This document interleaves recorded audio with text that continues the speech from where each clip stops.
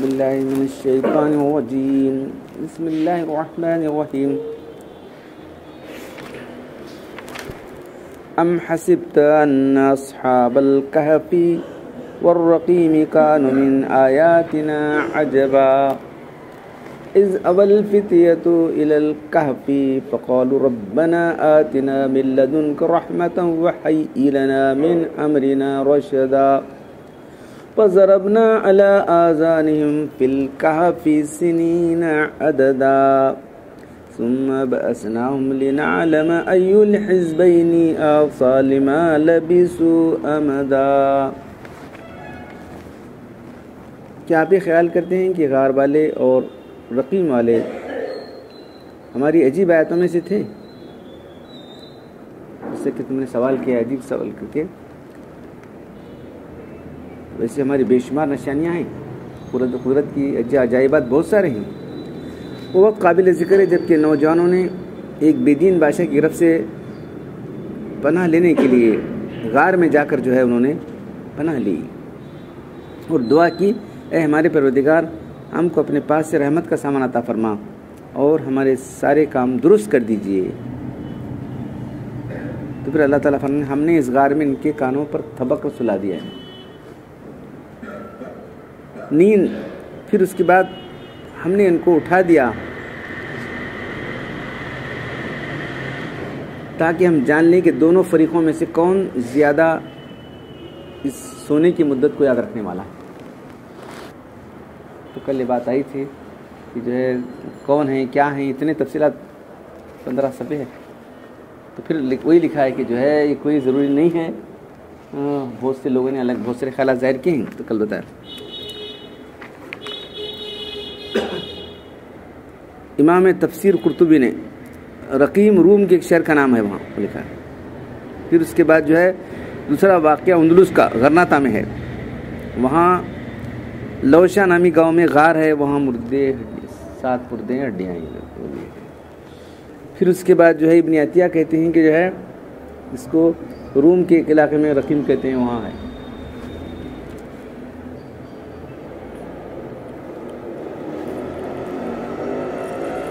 इमाम तफसीर इबन जरीर कहते हैं कि जो है, रकीम एक वादी का नाम है जो फ़लस्तीन में है। तो पहले साहब का वहाँ थे, उसके बाद वहाँ चले गए उन्होंने। इबन अब्बास से रिवायत है कि हज़रत माविया के ज़माने में रूम के मुकाबले में जहाद किया तो एक तंग गार था वहाँ पर। तो वहाँ पर मालूम हुआ कि यह सब कफ है। तो जो पूरी हम जाना चाहिए क्या कहते हैं ना कुछ रुक जाओ लेकिन कुछ लोग गए तो लेकिन ऐसी ज़ोरदार हवा आ गई कि वो हवा उनको हटा के उठा के फेंक दी उन लोगों को, जो गए थे फिर जो है, ये खलीज फारिस के पास अकबर अला है। उसके बाद इब्न अतिया, जो मुफसर हैं, लिखते हैं कि अबू हियान की तायद से मालूम होता है गार गरनाता के पास उंदलुस में है अब जदीद मन अबुल कलाम आज़ाद, उन्होंने लिखे हैं कि ये अला में जो है एक बस्ती है, जिसको टपरा कहते हैं। वहाँ जो है, गार है, वहाँ मस्जिद है, वही है उन्होंने फिर उसके बाद जो है, सब जने अलग अपनी अपनी राय ज़ाहिर करें। मैं किताब देख लाया ने अली रहमत उन्होंने पूरी किताबें लिखी उसके बारे में। उनकी एक तरीका अलग है। उम्र कहते उर्दू में अमान के पास एक संसान जंगल में गार का पता लगा तो ये जो आसार कदीमा आर्कोलॉजी डिपार्टमेंट उन्होंने गए। वहाँ भी जो खबरें अब अभी वहाँ भी जो है, कतबा निकला उस। तो लोग यही असाब काफ रखने में। तो मौलाना सलेमान नदवी रहमत उन्होंने भी टपरा का ज़िक्र किया है। मौलाना हिफ्ज़ुररहमान सहवारी उन्होंने जो है राखिमा का नाम बयान किया है। ये सब अल्लाह भी अपने किसी आखिर में लिख रहे हैं जो है अल्लाह ताला ने असाब कफ के जिन, इन हालात की खबर दी जिनका हमको ज़रूरी है, समझना। बाकी जो चीज़ ज़रूरी थी, अल्लाह कुरान ने बयान नहीं किया। टाइम प्लेस कौन से ज़माने में थे? क्या था, वो बयान नहीं किया है तो ज़रूरी नहीं है तो आगे जो है तमाम मुफसरिन का खुलासा लिख रहे हैं असाब कफ बादशाहों के औलाद में से थे और अपनी कौम के सरदारों के बच्चे थे। पूरी कौम बुतप्रस्त थी। एक रोज़ ये लोग अपने किसी मजहबी मेले के लिए शहर से बाहर निकली, सारी कौम। हैं शहर के बाहर जितना मेला करने के लिए।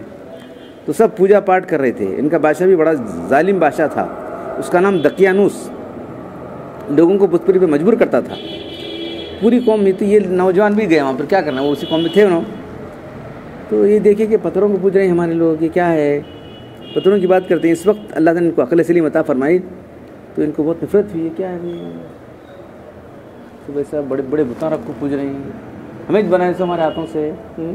वो शायर कहते हैं ना मेरे हाथों की तरह ये पत्थर के सनम आज मंदिर में भगवान बने बैठे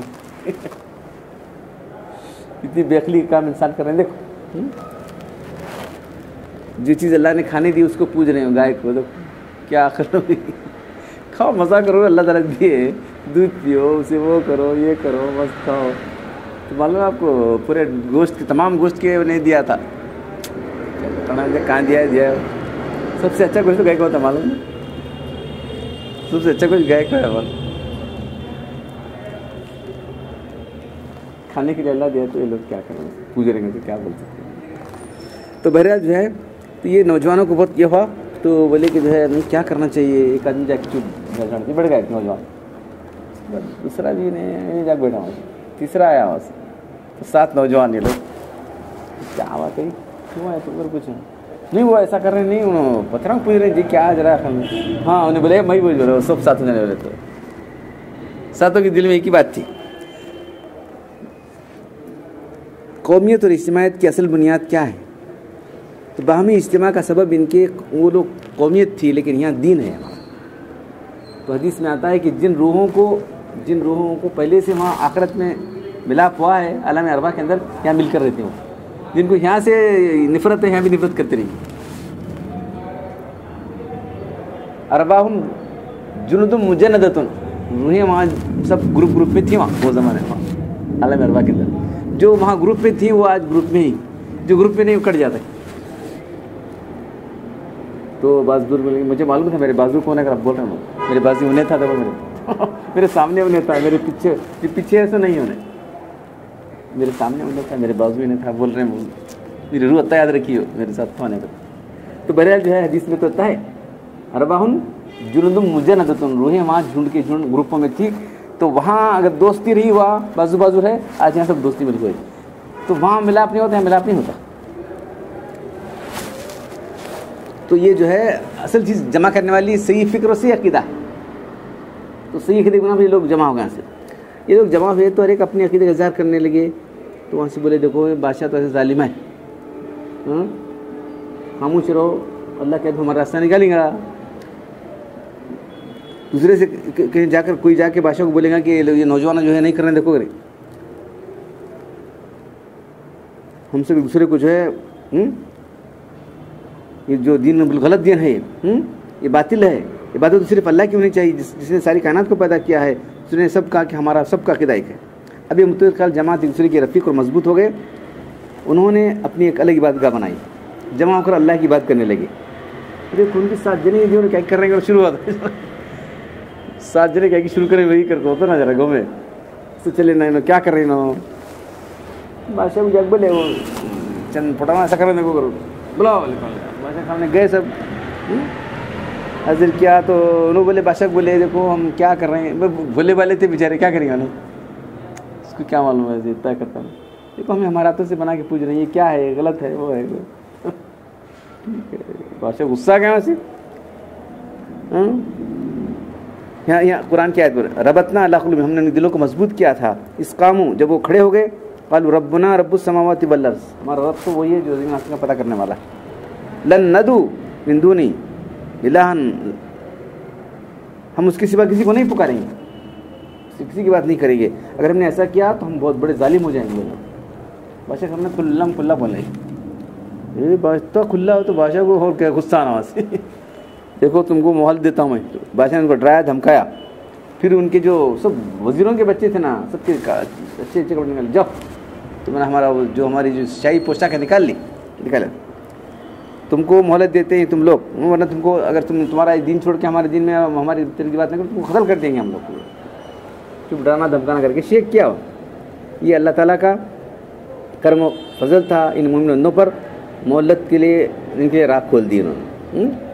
तो आम रिवायत के मुताबिक इस पर है कि लोग सही दीन मसीह पर थे।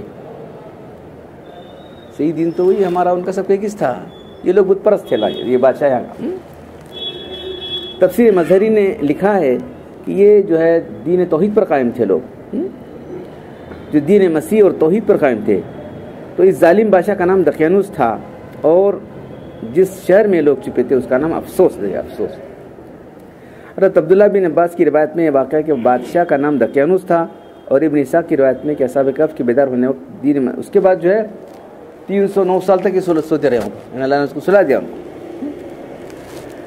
मजमू रिवाज से बात तो गालिब होती है कि असाब कफ दीन सही दिन पर कायम थे लोग। वो जो वो गाँव का बादशाह था, वो जालिम था, वो बुत परस्त। था? तो जब बेदार हुए तो दूसरा बादशाह था।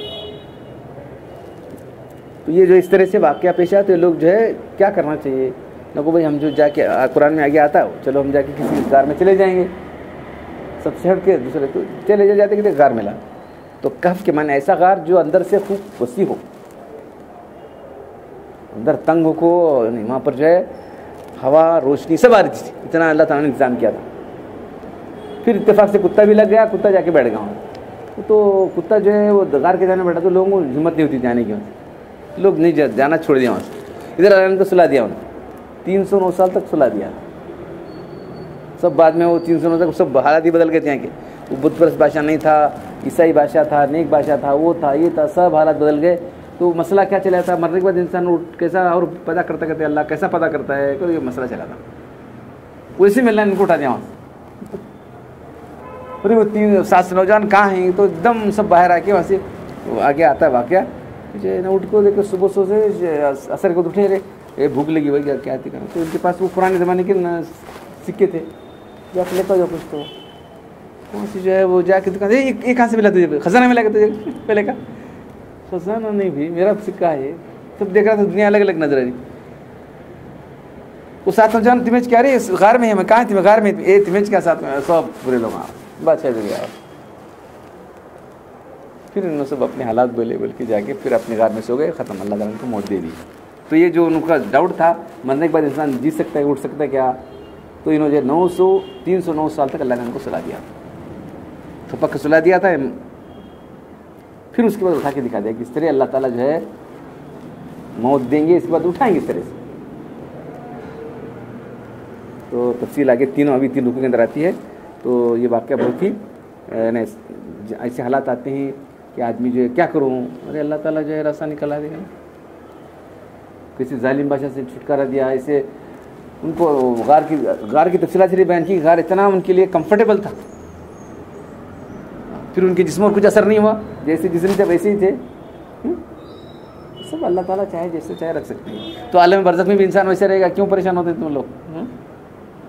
तो मरने के बाद ज़िंदगी ख़त्म नहीं दूसरी ज़िंदगी है जमा जी। मौत से ज़िंदगी ख़त्म नहीं, दूसरी ज़िंदगी शुरू हो जाएगी, मालूम है?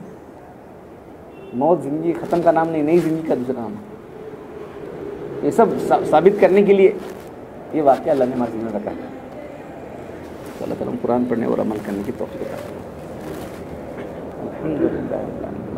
वसलाम रसूल करीम रब्बना आतना फिद दुनिया हसनतम वफिल आखिरति हसनतम वकीना अज़ाबन्नार